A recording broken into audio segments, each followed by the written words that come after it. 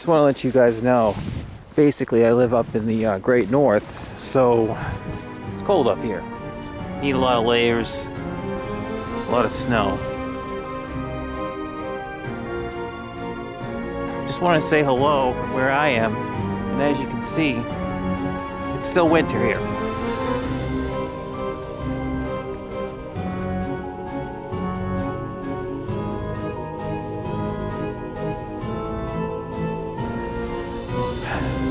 But I think the most important thing that people fail to realize is what people say that have seen the most fights. That's what matters. Someone can say, oh, you know, this, this cat would win over that cat, or this animal would win over that animal. It doesn't really matter unless they've seen the fights. That's what matters. Cool flamingo up in that window.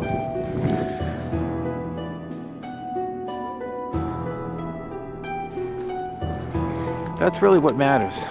And quite frankly, you have to see fights between the males of the species, as with anything. If you have a lion or tiger and it kills a female bear, who cares?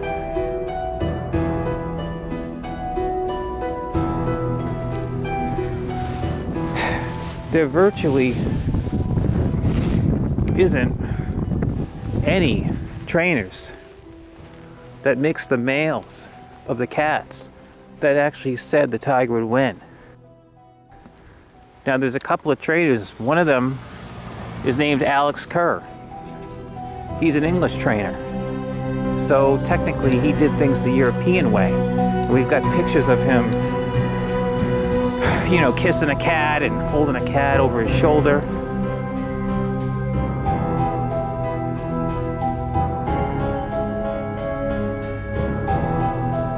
So, Dave Hoover, who said the lion would win, did things the American way. It was a fighting act. The animals were not as tame. So, that matters because you can actually take the fight out of anything if you selectively breed it. And that's what they did the European way. They selectively bred these cats to have no fight in them. So they wouldn't hurt each other and they wouldn't hurt the trainer to make it safe. So it's important to understand that. Um, if you look at the Lacey brothers, they, all of their cats are from their own descendants, from their own breeds. Okay? All of them. They don't use any cats that, that are new. Why?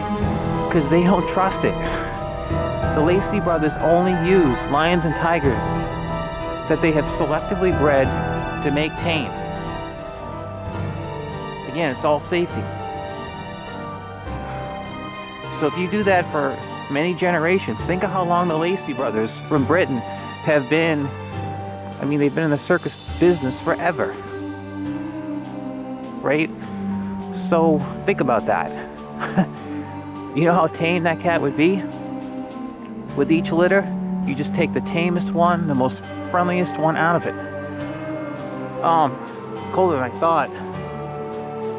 So you gotta understand that that if you selectively breed the tamest cat out of the litter, think how tame that's gonna eventually be after many generations of doing that.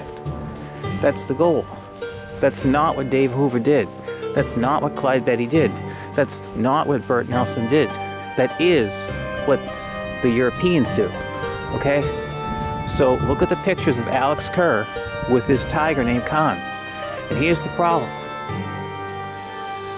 The trainers that said the lion won, they mixed multiple male tigers and lions. Okay? That's multiple, numerous. How the heck can you judge whether a cat is going to win by only seeing one specimen of that gender?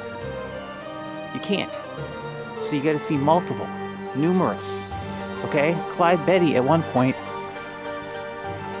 had at least 10 male tigers in the 40s and two tigresses. Okay? So he got to see 10 different male tigers at different points in different seasons go up against male lions. And he had over about 2,000 tigers total that he mixed. Again, if in the 40s 10 were male, 2 were tigresses, think how many males that would be through the years. People ask why did Clyde Beatty use tigresses? Because they might get killed, right? From the lions. I thought it was, I think it was this cold. I thought it was like 16, but I think it must be like 5 or. Whew, man. There's always some like huge storm now. Like every other week, it's the same thing. This massive storm comes through. Um. Wow. Look at this snow.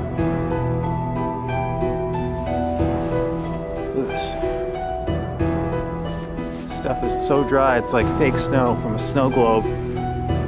Crazy.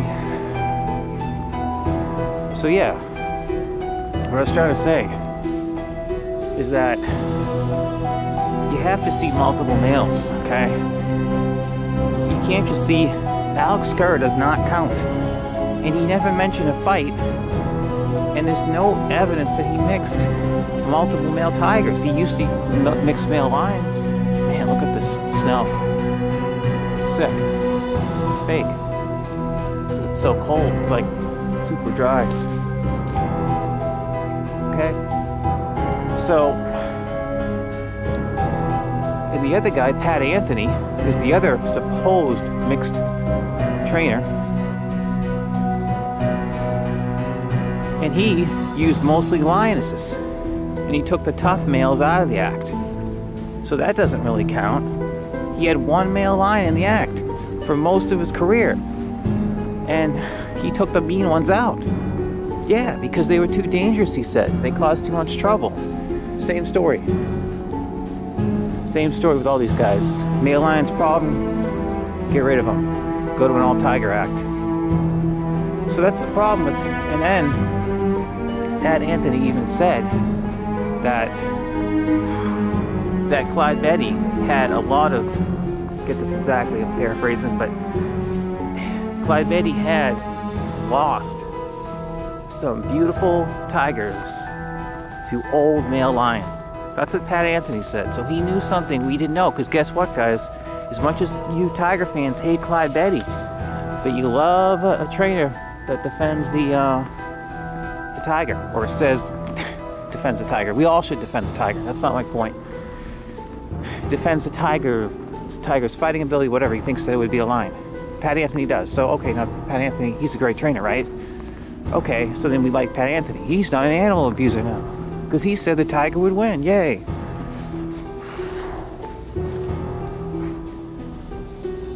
Holy cow, look at that. It's... So, but here's the problem, guys. Man, this is really coming down. Here's the problem. Wow. Like fake. Here's the problem. Clyde Beatty was incredibly good friends with Pat Anthony. Actually, better put, Pat Anthony loved Clyde Beatty and liked him and learned from him and admired him. And they were good friends. So let me tell you something. Pat Anthony favors the tiger. Well, yeah, because the guy had mostly lionesses in his act. Of course he's going to favor the tiger. You know, he's not watching tough male lions fight much. He's keeping them separate too, and he's using them as a showpiece. So you can't. Oh man, you, you can't decide like that. And then he even quotes Male Lion. And he to fight, and then he didn't really have them fight much. He never mentioned any fights. Beatty talked about seeing fights all the time. So I think Beatty knows. Bert Nelson talked about seeing fights all the time. Okay? So they know. These oh, shoot my hand. These guys know because they talked about seeing fights. Pat Anthony and Alex Kerr did not really talk about actually specific examples of fights. They did. It's like the never-ending plowing around here. Every day, day and night, plows. It's unbelievable. Power grid. Yes.